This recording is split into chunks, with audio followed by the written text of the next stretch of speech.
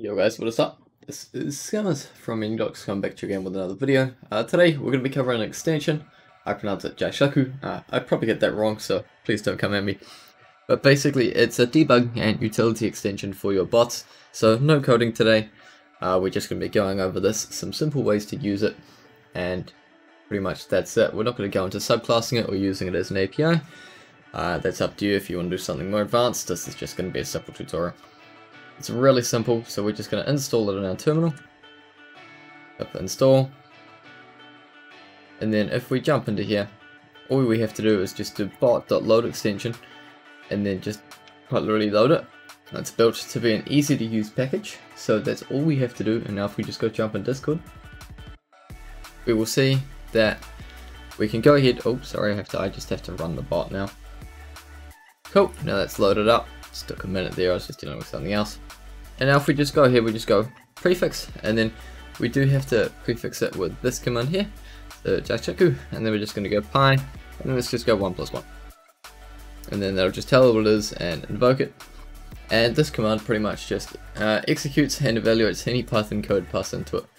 Um, so like simple expressions um, and stuff like that. So if we just went like this, I'm just going to copy this for future's sake. You can also use JSK, I believe, um, but we'll test that in a minute. So if we just go await, uh, underscore ctx dot message the author dot name.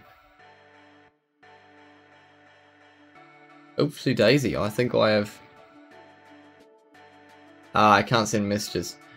Oops, I think I've just gone ahead and attempted to send something to myself rather than print it out. But, yep, so pretty much all we're doing here is just calling it here. So if I go ahead and we're just going to trust jsk py 1 plus 1. Yeah, so that works as well. So we're just going to go ahead and copy that. Yeah, jsk space later on. And this is just a real simple way to evaluate your code. Now you might notice I used an underscore there. That's because, quite simply put, the variables are available by default, same as our eval command like ctx bot author and all of that, have underscores. That way, um, you know, it's going to prevent you from overwriting any other variables um, and stuff if you're trying to invoke decent code, such as here.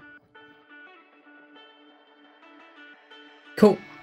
It's, it's just a really easy way of evaluating stuff. It's pretty much what we do with our eval command, just like way bigger, way better. Now, there's something else cool on this. So if we just go JSK, and then we're going to go ahead and go dis. This actually returns the bytecode. So I should probably put something a bit bigger in there. But I think it's just a cool way for you guys to figure out what your code is actually doing. So if I go JSK, just and then let's let let's put something a bit bigger in there. So we'll just put in code blocks and then we'll go uh, x equals two, y equals three, um, z return x to the power of y. And so you'll notice that if we expand this, that actually shows all of the bytecode. So basically what, what the program is actually trying to do. It doesn't execute it, but it basically just goes, okay, we need to load a constant and store it. We need to load another one and store it. We need to load both of these, and then we need to do binary power on it before returning it. And I just think that's something quite cool. And it's come back in the new version, which came out about a week ago, uh, in 2.0, so it's really cool. Doesn't execute the code, but I think it's just a cool way to see what your program is actually doing. Now, there's a couple other functions here that are quite nice. So if we go JSK and then we go shell, I mean, you probably figured out what it's going to do, but if we go shell, and then uh, let's just say uh, I'm a Windows, so I need to remember if I can actually do this. So can I go cat? I cannot. So we're just going to go ahead, and we're just going to go ahead and go shell tree.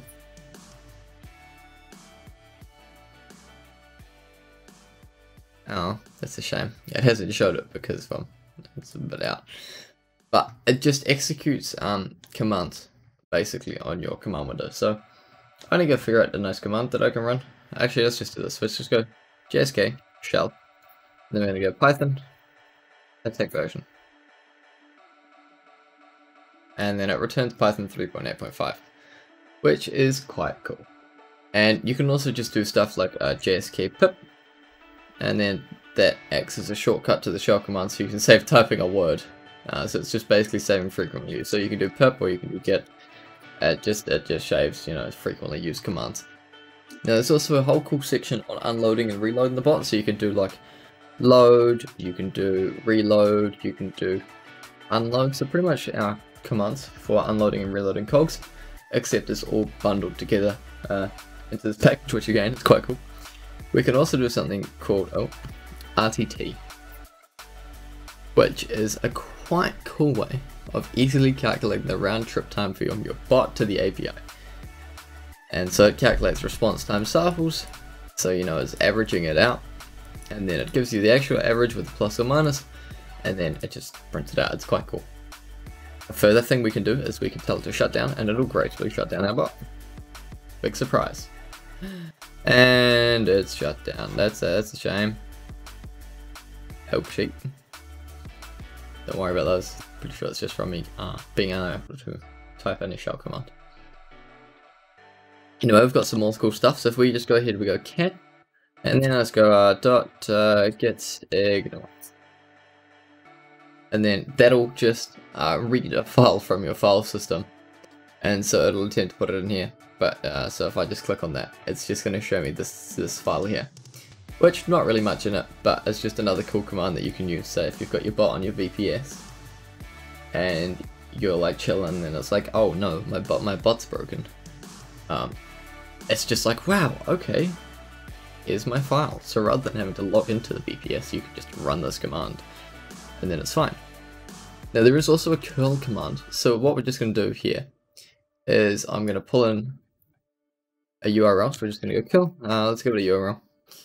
And then it just reads the page. It's not going to read it nicely, but it does page and edit. 71 pages for the PyPI page. No thanks, I'm, I'm good. Let's go JSK space and then just save that again. But it's quite nice because it uh, shows you doing it, you know? And then we can also just sort of paginate our way through. You can also do a lot of commands such as um, sudo um, su, which allows you to sort of, I mean, go figure. So sudo is basically just bypassing everything. Um, I have owner, so I can't really show you this uh, too well off the top of my head with something. But say if we do sudo, um, what's a command on that bot? Let's just quickly find a command on that bot. I think uh, US user stats is it? I just need to really quickly find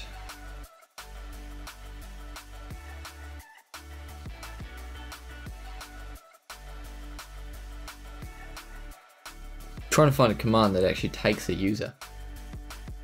The stats do it? No. Okay, so we're gonna go we're gonna go warn. What is uh what does warn require?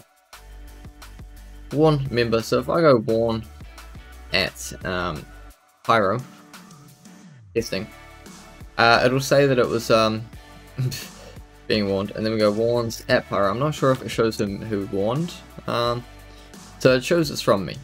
So then if we just end that, because if you remember from last episode, we got the custom emojis on that bad boy. Um, and then we go JSK, SU, and then we're going to go at, uh, at Connor. And then we're going to go ahead and we're going to go, uh, oh, give me a second to figure this one out. Also, I've just gone ahead and figured that out. It's actually really simple. So we just go su, and then we do who we want to sudo with. So let's say I want uh, I want Doug. I want Doug to warn Pyro. So we're going to go here, we'll go Doug, and then we're going to go the command that we want to invoke, and then we're just going to go the argument. So we want to warn Pyro, and we want to say uh, bad bot. And it'll say, look, you've been warned. We don't show who's warning them in that, but if we go warns at Pyro, and then if you notice we click this back button, it should take us to the last one. And you'll notice that it's saying it's been born by Doug, which is great for us. Because, you know, it gets us out of having to worry about our responsibilities. And now basically you can just do the same thing with N. So if I go uh, SK, SU, um, alright, N. Ooh, I need a new channel. Uh, Let's just go, let's just go ahead and take one of my channels. Uh, so we'll just go JSK in, and then we'll just do testing. Why not? Testing, and then we can just go ahead and do uh, warns at Pyro, a test. You notice it doesn't run it here, but if we hop into testing, and we the last one, uh, it's been done in here. Hmm, has it been done in here? I think it's taken the other channel. Ah, it's taken the other channel. Sorry, disregard that. But that's that's how it works anyway. Ah, it's gone ahead and it's taken the wrong channel name. Um, and then we can also do things like uh, debug, which executes a command with like an actual like error handler wrapped around it, so you can quickly get feedback on errors. So if I did oh, JSK debug on something that I know will break, um, all right, we'll go, we'll go. JSK debug, and then we'll just go uh warn. Oh yeah, because I did warns, so that did work actually. JSK debug warn. Why have you failed to run? Forbidden. Okay, it's uh, it's trying to send me messages because the pagenet session is too long. Um, but just to go back to this one. Yeah, so it's just done it in testing rather than here. Because if we do warns at Pyro, uh, it normally does it in here, but I didn't. And yeah, cool. And you can also do repeat, and it'll just repeat a command. So if we just make JSK and repeat warns at Pyro. Let's do it. Uh, three times. Yeah, cool. So we're about to get rate limited on these emojis for sure. But you see it just runs the command. It's an easy way to populate data in your database. It's like if you did a, say you're, you're doing an economy and you want to get some basic data set up so that, and you don't want to make it by hand, you can just run the command three times. Except you don't have to run it three times, you can uh, just put it in there. There's also a command for, it's called perm trace which allows you to investigate the source of expressed permissions in a channel. So let's go ahead and let's just go, uh, give it a go, eh? JSK, perm trace, uh, we'll go in uh, recording, and then we'll go uh, at play. And so that just traces back sort of those perms. So you know, it's a permission calculator for the following permissions in recording, for myself. The most fundamental reason why permission is given, but you know there could be other reasons. So you know like we've got add reactions admin sort of all of those. Can't we do? So we'll go uh, let's go JSK go and trace on myself shall we?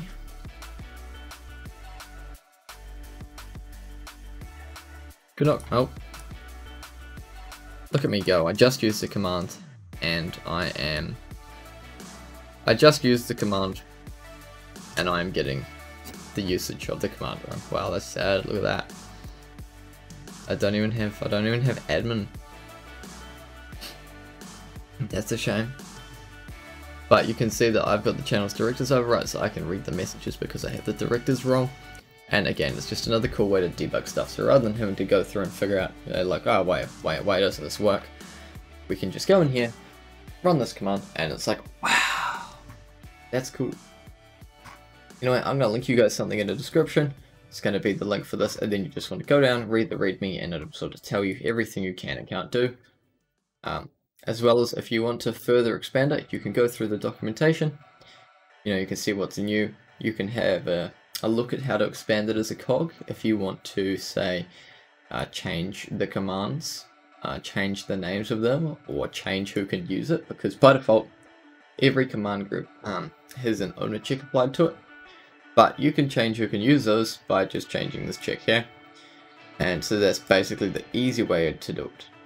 There's also like task systems. I'm not entirely sure how the task queue works, so I'm not uh, comfortable showing you that. But that's up to you guys to play around if you want to sort of throw them all in here and see what you can't do. There's also quite a few more commands that I haven't touched on, such as like retaining and stuff, which is like persisting um, your variables. Uh, so like every time you're on JSK py, the variables are persisted. So rather than like having to save them from a database and read them from a database, you can just persist them there.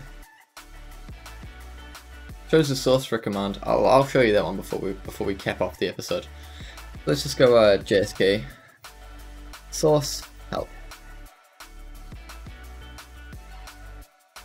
You know, it's quite cool. Like it just shows you the entire help command. Doesn't show you the functions it calls, uh, but it shows you the help command itself. Anyway, uh, that's been it for this episode. I think it's been quite a cool little episode, less code, more showing off. And uh, there's a few commands in there I definitely like, like the source command, the cat command, and the RTT command. And I think they're going to help you guys out a lot. um, both for having fun and for debugging purposes. So peace out.